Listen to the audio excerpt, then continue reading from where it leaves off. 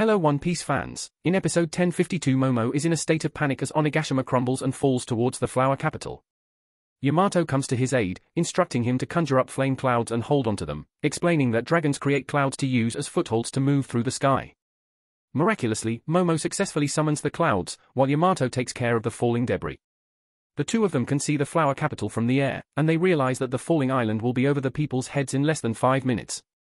Yamato urges Momo to conjure up flame clouds stronger than Kaido's, but Momo is skeptical, as he is still new to his dragon form and is uncertain if he has the same powers as Kaido.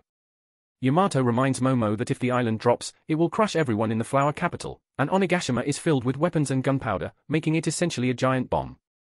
In a moment of panic, Momo considers seeking Luffy's help in stopping Kaido, but Yamato reminds him that Luffy is already carrying the weight of the fight and doesn't need any more pressure. The two of them need to figure out how to stop the island themselves. On the chaotic live floor, Queen unleashes his devastating Brie Pan attack on Sanji, who desperately dodges the flurry of strikes. Despite his impressive agility, Sanji can't help but admit that Queen is an incredibly formidable opponent.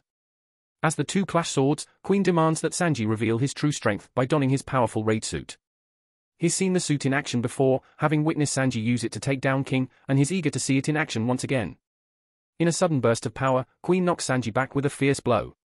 But even as he rises to his feet, Sanji can feel something strange happening to his body.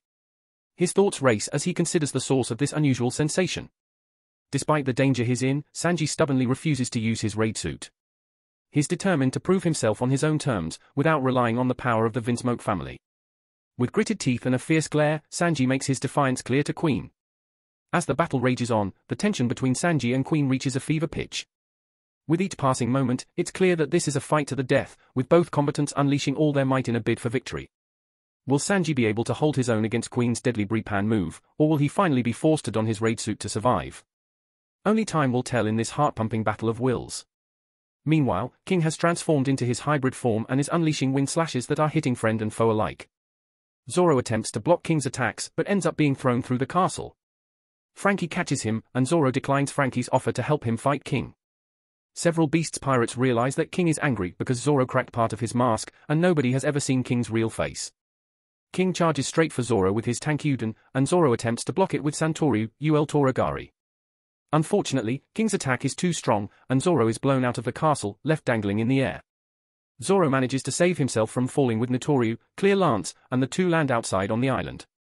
Zoro angrily demands that King should have used his sword to kill him, insisting that he deserves that much respect. If you already watched this episode please let me know your thoughts in comment section and please like, subscribe to my channel for exciting video.